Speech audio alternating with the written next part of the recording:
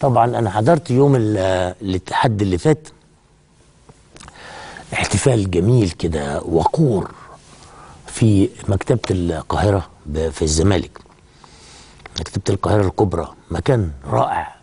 قصر زي بيقول لك قصر منيف وقصر منيف. وعاملين فيه شغل كويس جدا احييهم جميعا على هذا القصر لأنه عاملين فيه قاعدة بره عشاء وبتاع وحاجات لطيفة جدا. فكان آه، الأستاذ إبراهيم معلم عامل دعوة عشان خاطر لقوا أكتر من 200 آه، حلم لعمنا نجيب محفوظ لم تنشر بعد جديدة. وعمل عليها شغل كبير جدا إبراهيم معلم حتى يتأكد إنها فعلا أحلام جديدة. وكان موجودة فاطمة وأم كلثوم آه، كانت كاتبنا الكبير. وكان حفل جميل جدا وموجود فيه كبار الشخصيات محمد المنسي أنديل وعلى الأسواني ويسري فودة ودينا عبد الرحمن و- والسيدة الكاتبة الكبيرة اللي ما كانش حظي كويس ما لحقتش أسلم عليها.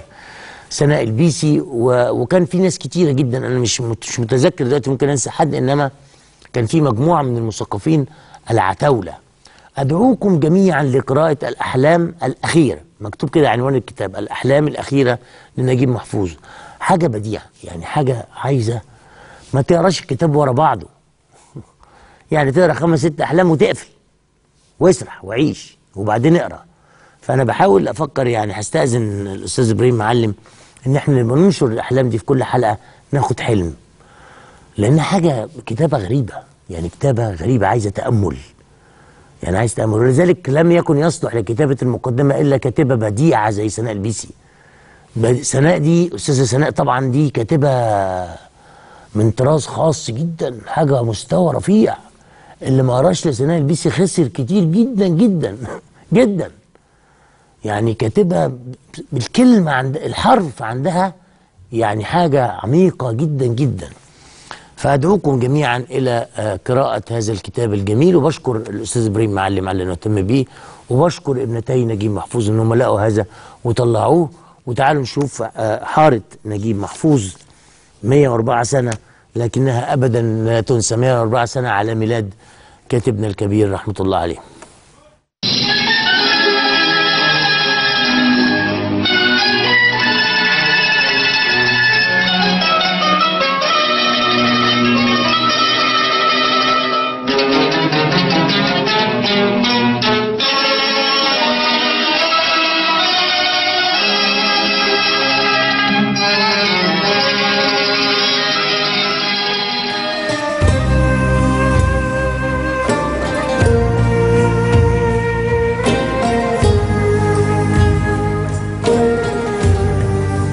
دي حاره ارمز اللي اتولد فيها ال- العالمي نجيب محفوظ.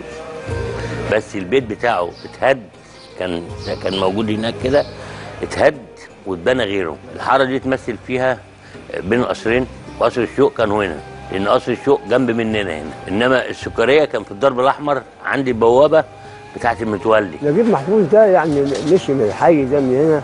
في معدل سجن بتاع خمس سنين لغاية آخر أيام عمره كان نجيب محفوظ ما ما لازم يجي جماليه روحه.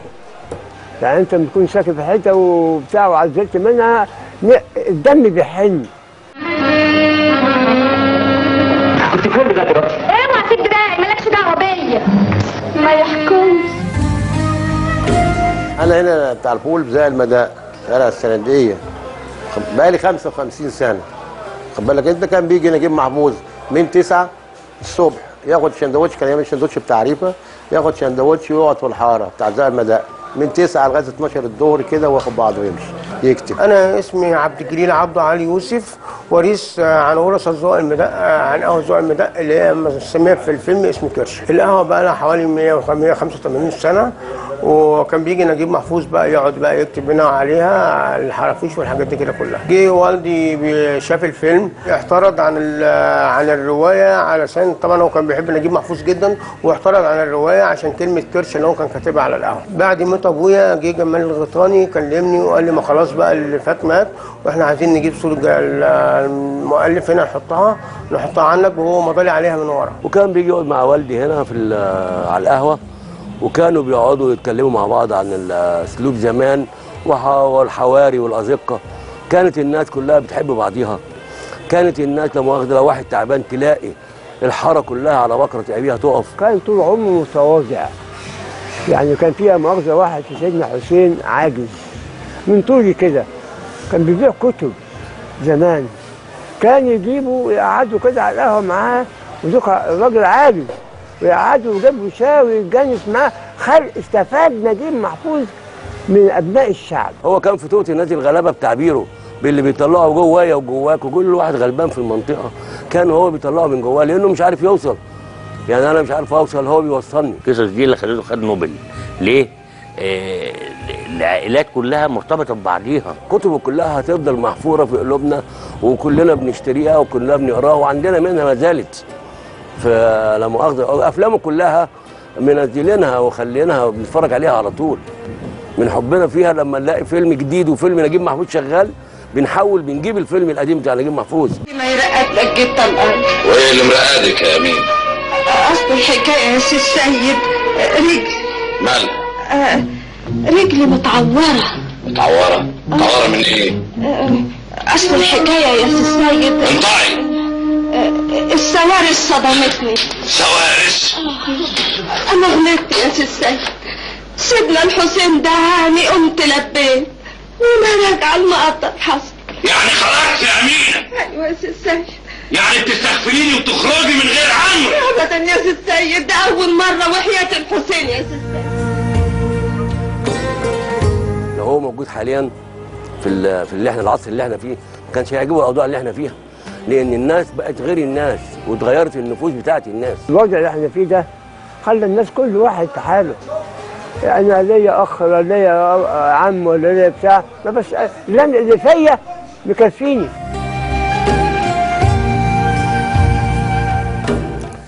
شكرا جزيلا الزميل أحمد عز الدين في هذا التقرير البديع. شوف رائحة مصر بتختفي. آه ليه بتختفي؟ لأنهم دمروها. ناس كتير دمروا في البلد وضيعوا الريحة لكن عايز تشمها تروح الحتت القديمة فيها مشاكل كتير في من حيث النظافة ومن حيث العناية وتتضايق أو تزعل.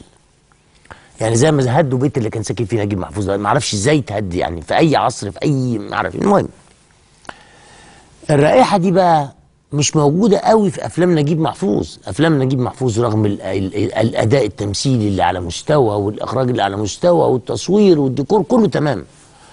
لكن حين تقرأ أمر آخر فأرجوكم ما تتوقفوش عند أفلام نجيب محفوظ. تقولوا إحنا نعرف نجيب محفوظ. لا اقرأ. اقرأ الروايات بتاعت نجيب محفوظ. هتكتشف فيها حاجات تانية. هتكتشف فيها حاجات حلوة جدا جدا جدا. على كل حال يعني مصر طول ما فيها طول ما بتطلع لنا أمثال نجيب محفوظ ويوسف إدريس وصلاح عبد الصبور وصلاح جاهين و- بتكلم في الكلام والابنودي وأحمد فؤاد نجم ومعانا جمال بخيت وعندنا سيد حجاب. وأيمن. في أسماء كتير عين بهجة قمر وفي شعراء كتير في مصر. وفي محمد عبد القادر في بورسعيد ده شاعر فحل. بس إن إحنا عندنا مصر مصر عمار دايما مصر عمار دايما. في ناس بتهلس سيبها تهلس. هذا شأنها. مش شأنك ما تتابعهمش دعوه بيهم. واحد بيهدر الوقت اهدره. واحد بيتجاوز يتجاوز هو. إنما أنت ابدا ما تسلمش لا عقلك ولا وقتك للتوافه من الأمور. اتكلم جد بكل خفه دم على فكرة مش بقولك اتكلم جد يعني يبقى دمك تقيل. هزر واضحك واتبسط. أحسن ما تتفرج على هلس. ما تتفرج على على إيه؟ والله ما أنا عارف اسميه إيه بس يعني يعني أنا أنا مطمن إن أنتوا أنا عارف إن أنتوا بتقدروا تقيموا ما بين التسالي وما بين اللي أنت بتقتنع بيه. يعني على كل حال إحنا عندنا مو- موضوعين النهارده مهمين. عندنا شباب في الجامعة اتحاد الطلاب عندهم انتخابات ونجحوا. عمرو الحلو وعبد الله أنور شباب نجحوا في الانتخابات والنتيجة لسه موجودة عند الوزير. هتطلع في الدرج ليه بقى؟ مش عارفين. هنعرف بقى ونشوف حكاية الشباب. وبعدين عندنا حاجة مهمة بتعملها مصر الخير. أنا متحمس جدا لمصر الخير. ليه بقى؟ لأن على رأس هذه المؤسسة وأنا حضرت كذا احتفال ليها الدكتور علي جمعة وهو رجل كبير. يعني إيه رجل كبير؟ يعني ناضج وعاقل ومتعلم ومثقف وأمين. هتكون معانا مين بقى؟ الأستاذة دينا حتحوت عندهم مشروع مهم جدا هنتكلم فيه. مشروع يخص المعاقين. اللي إحنا قلنا إيه بقى؟ السيد الرئيس قابلهم وقلنا كذا وقلنا كذا وقلنا كذا. وبعدين؟ معرفش. يعني عملنا إيه؟ في شارع اتوضب عشان خاطر المعاقين. في رصيف اتعدل عشان الراجل يعدي بكرسي. في أتوبيس حطوا له حاجة عشان المعاق يطلع. في مدرسة جديدة اتعملت مش عارف ما فيش حاجة.